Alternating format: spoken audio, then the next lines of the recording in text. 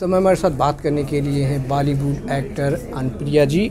अनप्रिया जी, लखनऊ आए हो और आपका जो वेब सीरीज़ आ रही इसके बारे में कुछ क्या बताएँगे? सुल्तान ऑफ़ डेली एक बहुत ही शानदार बहुत ही डिफरेंट सीरीज़ है जो आप अभी के लिए देखेंगे तो बहुत रिफ़्रेशिंग है क्योंकि ये सिनेमैटिक एक्सपीरियंस है जो आपको अपने ओ टी टी स्क्रीन पर मिल रहा है।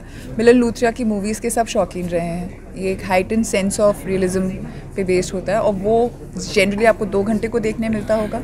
यहाँ आपको ऐसा पाँच छः घंटे की एक जर्नी मिल रही है। काफ़ी ऐतिहासिक मूवी है जब इस करेक्टर को आप प्ले कर रहे थे तो किस तरीके की चुनौतियाँ देख रहे वेल आई थिंक मेरा कैरेक्टर मॉरल ग्राउंड्स पे काफ़ी क्वेश्चनेबल है in terms of a thinking पर उसके साइकी को डीप डाउन स्टडी करना, उसे समझना, उसके थ्रू अपने आप को समझना एज अ वुमेन काफ़ी सारी अपनी चीज़ों को एक्सेप्ट करना एंड अपनी एक हम सारी जो लड़कियाँ हैं, हमारी कंडीशनिंग इतनी डीप रूटेड होती है ना बचपन से about what's right what's wrong how we should believe behave आज अगर एक आदमी किसी का खून कर दे, आगे बढ़ने के लिए यू नो आप एक प्रोटैगनिस्ट को दिखा सकते हैं कि वो आर्म्स में डील भी करता है, वो किसी का खून भी कर देता है क्योंकि वो आगे बढ़ना चाहता है।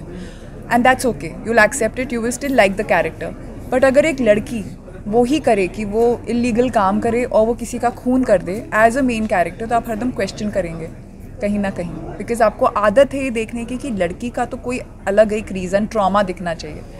सो आई थिंक वो उस चीज़ की धारणा से हम सब गुजरते हैं and my character I feel is has been a great revelation for me कि ये ज़रूरी नहीं है लास्ट क्वेश्चन अपने ऑडियंस के लिए क्या कुछ संदेश देना चाहेंगे यही कि हमने बहुत ही शिद्दत बहुत प्यार से बनाया है ये शो मैंने बहुत ही अलग काम किया है जो भी मेरे चाहने वाले रहे हैं जिन्होंने मेरे काम को सराहा है इतने साल I would really be thankful कि अगर आप ये शो देखें आप प्लीज़ देख के बताएँ आपको कैसा काम लगता है। मैंने कुछ अलग करने की कोशिश की है।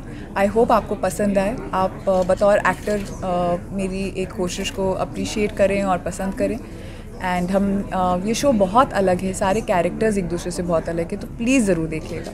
Thank you TV India live से बात करने के लिए। ये थी हमारे साथ कनप्रिया गोइनका जी। कैमरा मिशाल के साथ मैं Ram Babu TV India live Lucknow और रियल एहसास हमको कल हुआ जब हम एयरपोर्ट पहुँचे बॉम्बे एयरपोर्ट यहाँ आने के लिए।